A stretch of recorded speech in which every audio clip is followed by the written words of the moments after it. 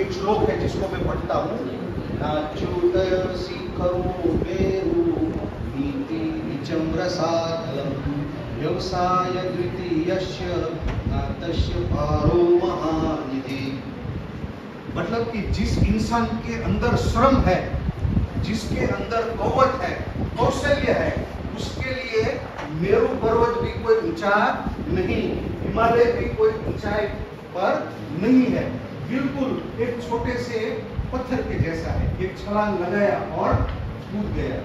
उसके लिए पाताल कोई ऊँचा नहीं है। बताते हैं ना, पाताल thousand feet of below surface so many waters अभी कुछ आपने देखा होगा सबमरीन कूद गई थी। कितने हज़ार फीट नीचे टूट गई थी? छह हज़ार, सात हज़ार फीट नीचे। तो उसके लिए पाताल भी कुछ नहीं। एक गदा पछाड़ी और पाताल से पानी का फुहारा छोड़ दिया। और उसके लिए समुद्र भी लांघना कोई बड़ी बात नहीं है।